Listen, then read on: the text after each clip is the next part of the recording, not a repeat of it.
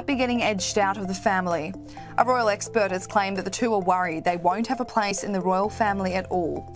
It comes after it was revealed that the Duke and Duchess of Sussex had been demoted.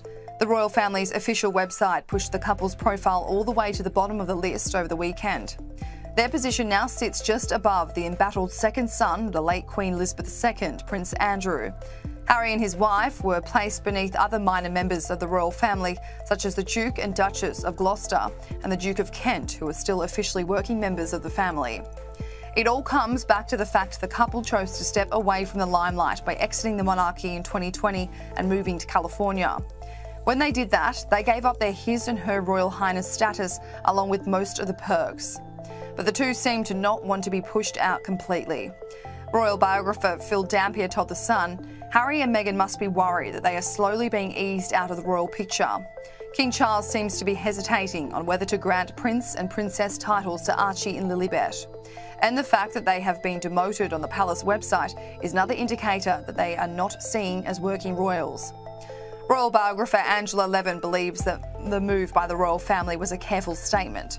She said, the fact is that what they are doing is zero. It just shows people that they're not doing and how valuable that is in the royal family. I think putting Harry down there at the bottom is sort of a safety valve. You don't expect anything from them.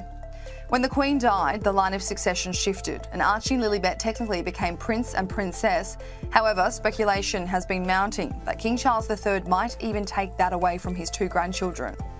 It was reported throughout the week that when Harry originally told his grandmother of his plans to leave the monarchy, she gave him an ultimatum.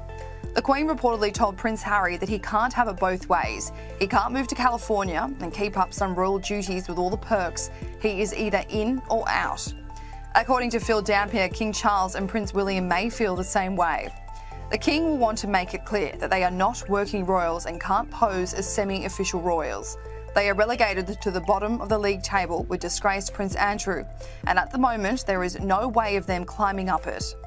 Although, according to palace sources, King Charles III is keen to make amends with his second son and Meghan Markle. The source told The Telegraph that the King saw flickers of hope and that there is hope of a cause for unity following interactions they all had when the Duke and Duchess of Sussex were in the UK for the Queen's funeral. I don't think anyone would deny that publicly Prince Harry and Meghan Markle behaved themselves during the loss of Queen Elizabeth II, Kinsey Schofield told Fox News Digital. We have heard whispers of title negotiations for the children and invitations revoked, she shared. There were some undeniably uncomfortable moments during Harry and Meghan's time in the UK. However, King Charles is an optimist and appreciated their toned down presence throughout the process. The King is eager for a truce, but unfortunately, there are too many things in the pipeline that could jeopardise the Sussexes' relationship with the new monarch.